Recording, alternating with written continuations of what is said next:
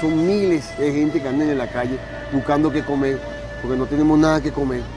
Esa es la canción de nosotros todos los días los venezolanos. Mira, aquí llevo unos cuadritos de pollo, ¿ves?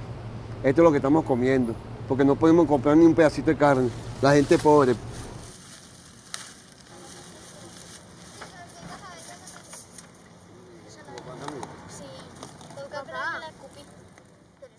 Mi nombre completo es José Rafael Godoy Acota, tengo 40 años, tengo 15 años ya comiendo la basura.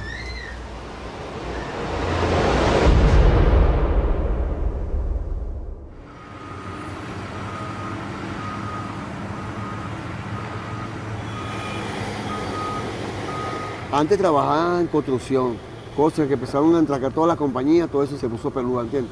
Pasa que no hay trabajo, no hay nada, no hay cemento, no hay arena, no hay nada. Después que se puso la cosa que no seguí trabajando y coño voy a recoger la basura. Hay gente que botan cosas buenas, ¿entiendes? En la comida. Botan un perro caliente, botan cachitos, papitas fritas, botan cosas así, y uno lo va recogiendo y lo va guardando. Y con eso ahí uno come.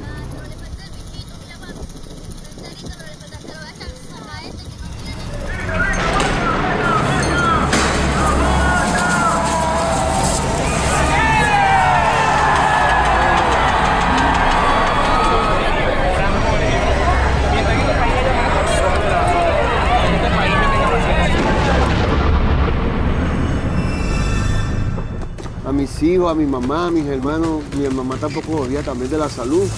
A veces, bueno, me da cosa decirle que, que eso lo conseguí en la basura, ¿entiendes? Me da pena. Coño, ahorita no tiene trabajo, sí, peleando conmigo.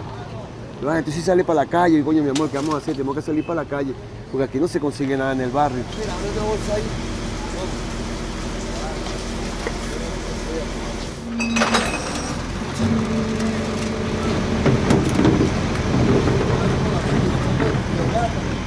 A veces hay otros esperando los camiones y no me sale nada porque están otros ya más primero que yo.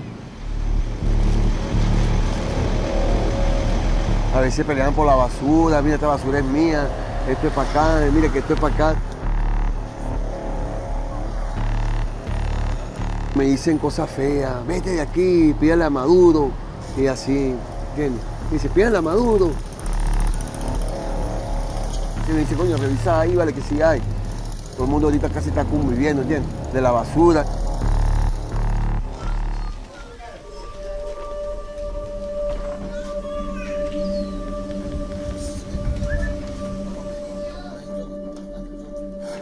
¿Cómo se entiende? Y aquí comemos, para todos, para los perros, para nosotros y para mi familia que está aquí arriba. No antes salía, conseguía de todo, todo el mundo te buscaba para trabajar. Ahora más bien te dice, coño, que ahí por ahí pasé, vale, salgo contigo para la calle, me dicen a veces, oye, me tengo que ir contigo a pedir, vale, para ver.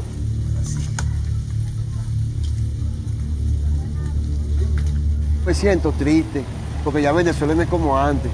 Coño, ¿cómo la escribo, coño? La cosa está peluda, mi hermano, uno no sabe ni qué hacer.